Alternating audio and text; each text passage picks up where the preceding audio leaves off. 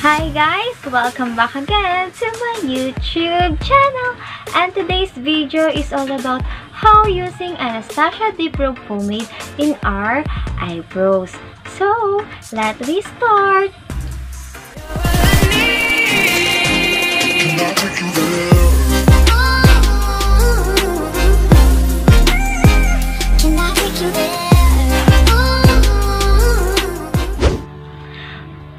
Nga pa guys, mas prefer kong gamitin ang Anastasia Deep Brow Pomade compare sa eyebrow pencil. Guys, nung first time ko lang kasi gamitin ang Anastasia Deep Brow Pomade, napaka-easy niyang gamitin. Pag in-apply mo sa kilay mo gamit ang brush, ikaw mismo magko-control sa brush para ma-perfect mo yung kilay na ina-assume mo. So, ikaw mag-blend ng amount ng pomade na ilalagay mo sa iyong kilay.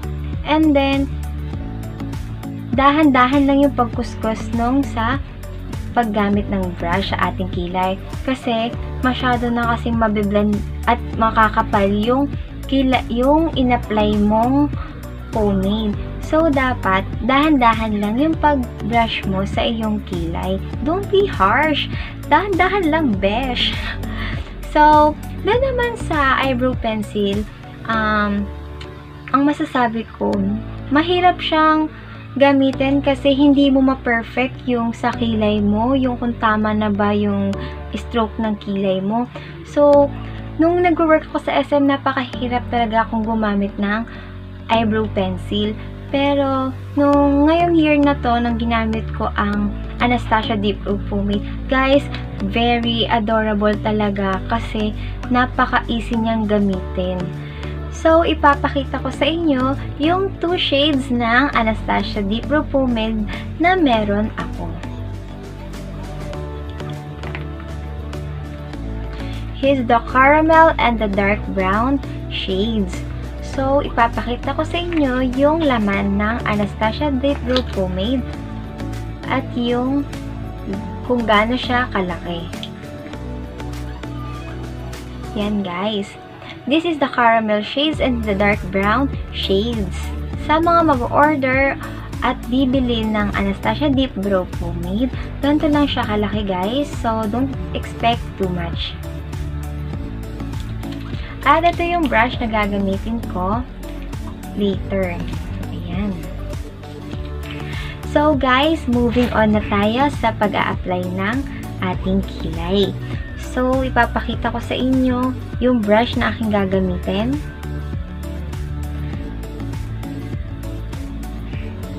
At ito yung shades ng dark brown na aking gagamitin.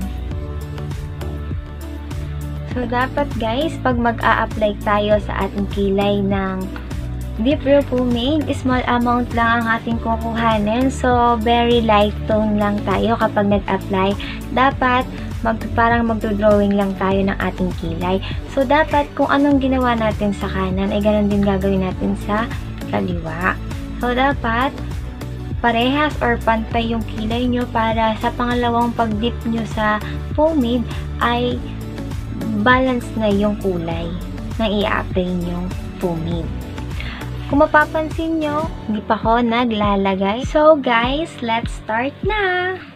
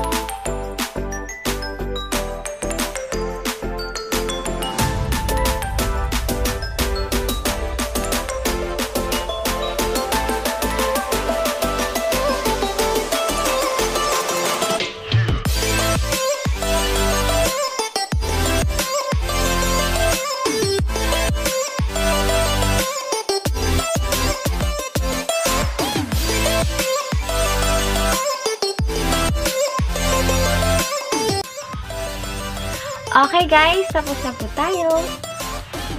So, this is the end of our tutorial.